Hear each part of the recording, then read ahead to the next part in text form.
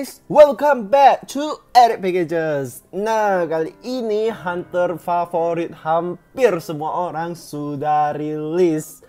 Dan dia memang kece badai, apalagi skin terbarunya.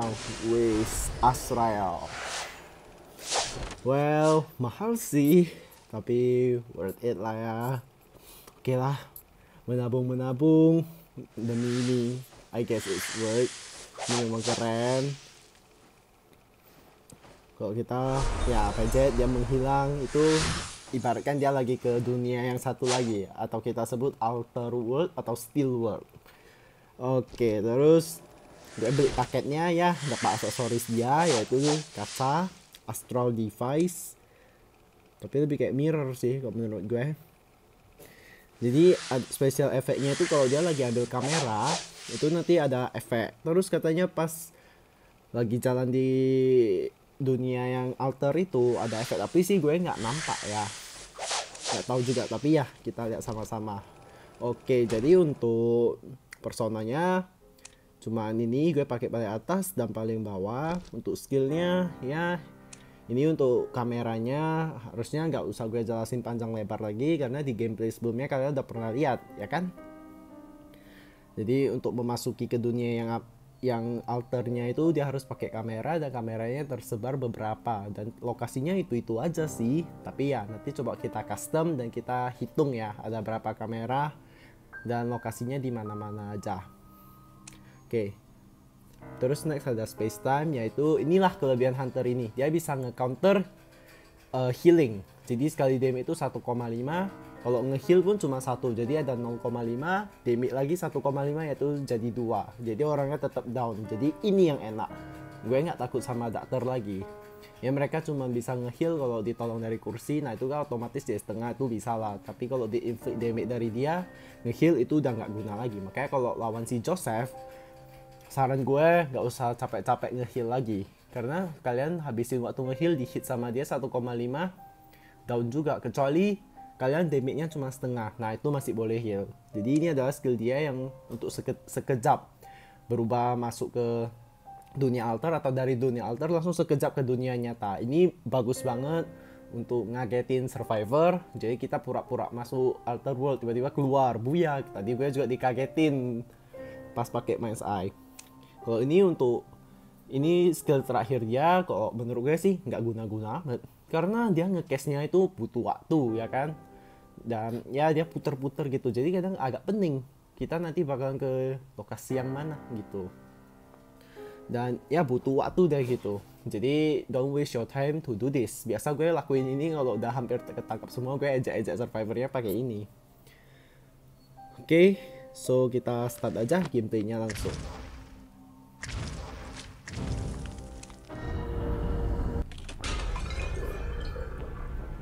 Oke, Oke, langsung aja kita di Side Village dan mari cari kamera terdekat. Nah, ini ada, langsung aja kita pakai. Terus di sana ada kotak, kita cek dulu apakah itu kotak hunter. Kayaknya ungu iya ya, iya. Jadi tambah speed. Nah, kita langsung masuk. Terus biasanya cari di tempat decoding terdekat. Mereka ada di situ. Nah ini ada nih. Siapa ini? Gue nampak merah-merah. Oh ini dia si koordinator. Langsung kita buat dia down. Nah jadi skin ini kalau kita attack ada efeknya. Itu yang gue suka. Terus kameranya juga berbeda. Tadi kayak ada ranting-ranting gitu kan. Nah jadi kalau si koordinator ini nggak nolongin dia sendiri Di kursi Nanti efek ke dunia nyatanya dia langsung down. Moga di sini ada orang coba kita ya Ah ada kan? Ada si boom. Jadi gitu. Tapi untung dia cepet nyadar kok nggak biasa terror shock. Boom kena. Nah kalau dia down di dunia nyata gini gue nggak bisa gue bisa taruh jadi kursi tapi itu nggak bakal memulai countdownnya. Nah kayak gini. Jadi tadi kan si koordinator di kursi situ. Dia udah nggak ada. Jadi ya udah tifnya aja yang gue taruh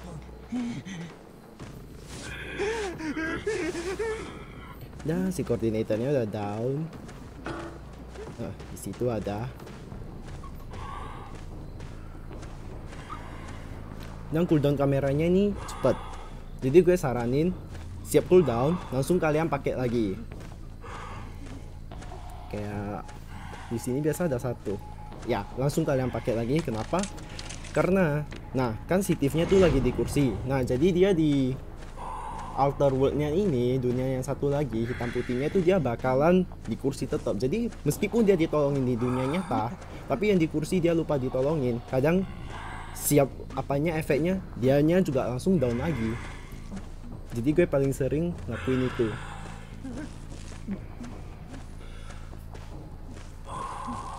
Oh, kena sekali. Oh, excitement. Bang. Oh, dia ada. Jadi sebenarnya kalau nggak gue kejar pun nggak apa-apa sih. Si Tiff-nya bakal down, tapi ya dia bisa masuk ke dunia lainnya. Dia kan punya Tech Turner kan, dia bisa nolongin. Jadi ya susah juga gitu. Nah, dia di mana tadi? Itu dia. Not bad. Maksudnya ke dalam gitu juga. Nah, itu koordinatornya kan udah kena 1,5 tuh.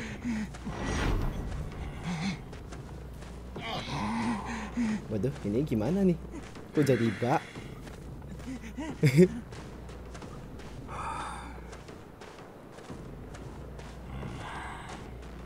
Loh. Ya, beruntung banget sih Tiff jadi bak. Gak apa-apa, gue tangkap aja lagi.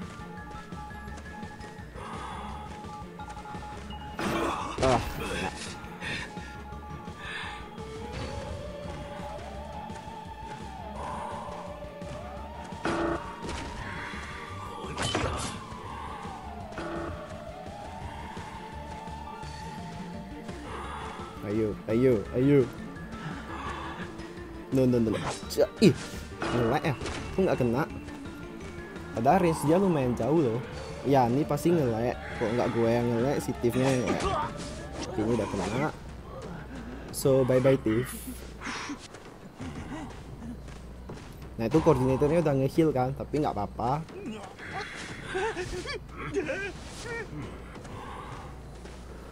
Itu kalau gue hit lagi itu dia bakalan down. Karena udah 1,5 mereka pasti antara di sini atau di atas kapal. Kalau bisa sih jangan pakai kamera lagi nggak usah lagi. Bakalan habisin waktu aja. Nah di sini ada gambar telinga. Berarti di balik batu ini. Oh ini dia si dokter Hmm, si dokter mau nge-heal juga nggak apa-apa kalau gue hit lagi sempet gue hit dia udah down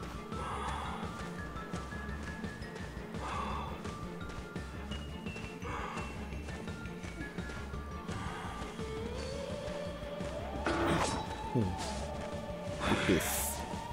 Dia vaultingnya juga lumayan cepet ya Hunter ini. Up di sini ada basement. Ayo lu mau ke mana? Bye bye. Tapi kayaknya gue nggak pakai basementnya lagi deh. Gue pakai di sini aja. Gue males turun-turun nanti struggle. Nah, kok kayak ini gue udah nggak takut sama koordinator. Ya kalau dia mau datang ya silakan.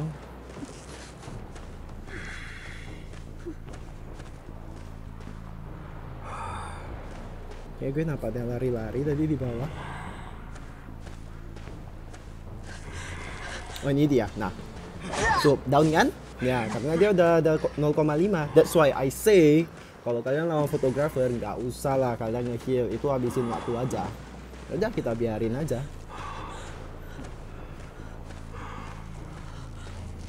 Apakah perfumernya berani nekat datang ke sini? Ada, itu dia perfumernya.